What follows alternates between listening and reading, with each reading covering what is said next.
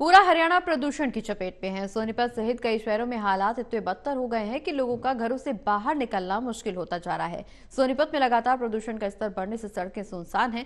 Park में सुबह घूमने आने जाने वाले लोगों की अब तादाद घटने लगी है। रिपोर्ट देखिए। हरियाणा में प्रदूषण का स्तर खतरनाक होता जा रहा है। लगातार प्रदूषण बढ़ने के कारण लोगों का सांस लेना मुश्किल हो गया है।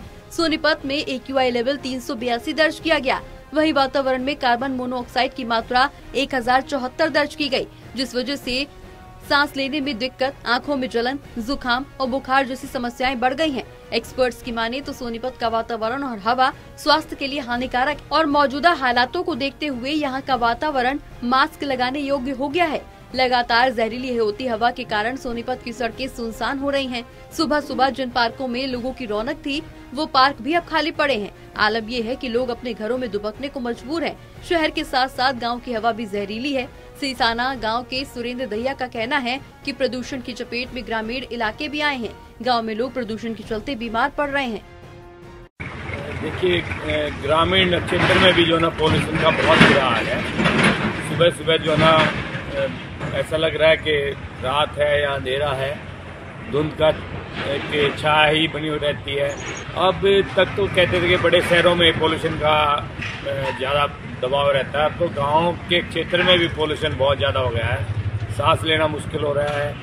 इस पर प्रॉपर कार्य नहीं हुआ तो जो ना आने वाले टाइम में लोगों को बहुत सारी बीमारियों का जो ना सामना करना पड़ेगा।